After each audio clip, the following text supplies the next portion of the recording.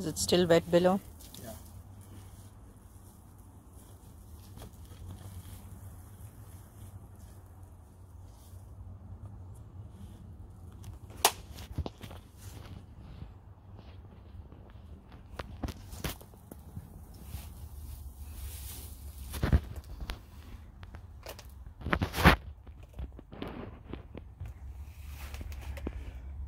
I'll try and cut down at a bit of an angle here.